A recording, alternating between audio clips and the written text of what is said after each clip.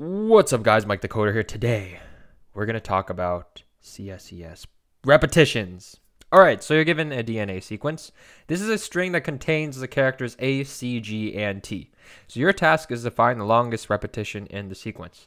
This is a maximum this is a maximum length substring containing only one type of character.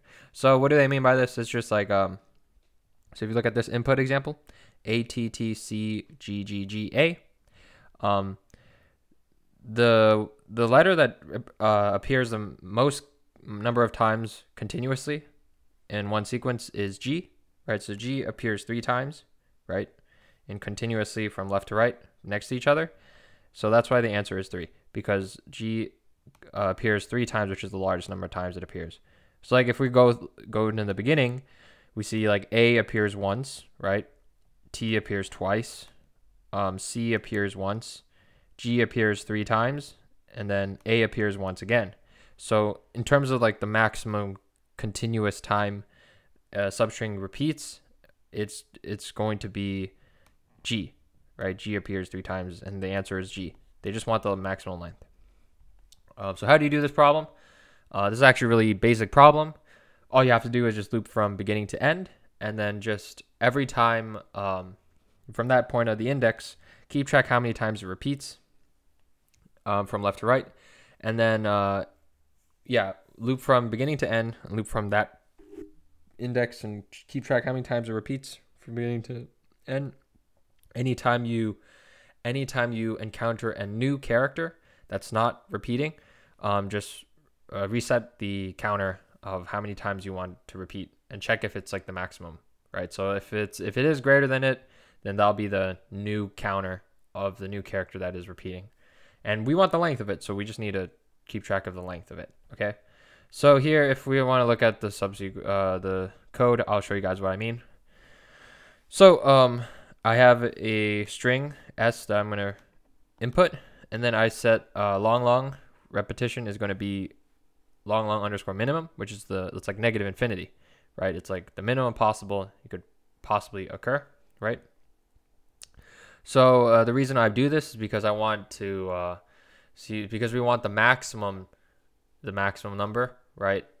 Uh, this is just like a placeholder so that anytime we go loop through it, we'll get the maximum um, continuous like uh, continuous letter in a row, right? When we keep keep keep track of it. So that's why this is equal to long long underscore minimum. So the first for loop is to just loop from the beginning to end to loop through every character. And now what we're going to do is we're going to have another pointer that's going to start from that position that we're looping through. And um, what we're going to do is while it's not, uh, while it's less than to the end, um, we're going to check if it's equal to the one beside it, the one, the next one. So if it is equal to it, we're just going to keep increasing this, this, uh, this pointer. So we're going to keep increasing it. Then um, once we reach this while loop, what this while loop is going to do is it's going to reach a point where the character is not going to equal to the next character, right? So what it means is like I'm gonna reach to a point where like sooner or later one of the, the one of the characters J is not going to equal to J plus one, right? To the character afterwards. So that's what this while loop is going to do. And then after it's not equal to it, um, what we're going to do is we're going to get the length of it, right? And reset our length. And to get the length of it, what you do is uh, if you start from the jth index, you're going to subtract from your current index and you add by one because that'll be the, the length of your index, the length of the string that you're keeping track of.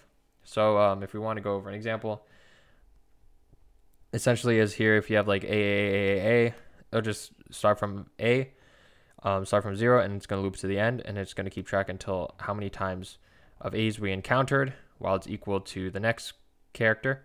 And then after it keeps track that many times, uh, once it hits like a C or a G or a T, then it'll stop. And then we just subtract like this position from the starting position and add one will give us the length of the current sequence. So that's what this is for, right? If I take the current position I'm at after adding it and then subtract by the starting position, add one, that'll give me the length of the string.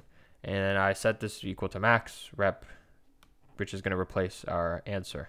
Our rep is the, answer essentially. And then when this happens, I'm going to set my current pointer equal to the new pointer because at this point, um, yeah, we don't need to check the next one because uh, if we check the next one, there's no reason to because we know that this is the number of times it was equal to each other. So in that case, we could just skip all the way to the end of the end of the iteration and yeah, all equal to that. So an example would be like in here we have A C C G G G T T T T, right? Like if we start from A, um, I'll check, hey, is A equal to C? It's not equal to it, so we're gonna get a length of A. So in this case, it's it's just going to be zero minus one plus one, uh, zero minus zero plus one, which is gonna give us A. So that'll be one, and then we set a new pointer to equal to that. And now we're gonna at gonna be at C, so we're gonna loop from C to the end. So while c is not uh, while c is equal to the next point of uh, the next character, uh, it's going to keep increasing it. So then in the end we'll get 2, right? We'll get 2 because that'll be the length of c, how many times this repeats. And then we'll reset reset that as a new answer, right? Because we want the maximum length, right? The maximum answer. So we're going to set equal to max of that. So it'll equal to 2. And then the new pointer would be point to the value after c, which is going to be g. And then we do the same thing for G, count how many times it was repeated. Then once it is equal to it, we're going to jump to that next one, get the position, get the length of it, jump to the next one, and all the T's, and so on and so forth. So yeah, the code looks like this.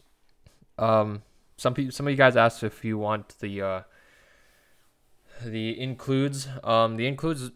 The only thing that is really important is just uh, that I have is just hashtag define ll long as long long um, I use the LL for long long because I just assume all the all the inputs that I'm using is going to be super long. Um, yeah, because like in competitive programming, sometimes you might get overflow if you use integer. But yeah, that you could just write long long here, long long, and yeah. So yeah, um, there's not much else I have in this code, so that's pretty much the gist of it. Hope you guys enjoyed this video. It's just using two pointers. The first one just looping through each character. And the second one is just keeping track of how many times it's repeated. And then, then we were just going to get the length of the position where it ends at, subtract from the starting, add one will give us length, and then we reset that. So yeah, hope you guys enjoyed this video. Rate, comment, subscribe. I'll check you guys later. Peace.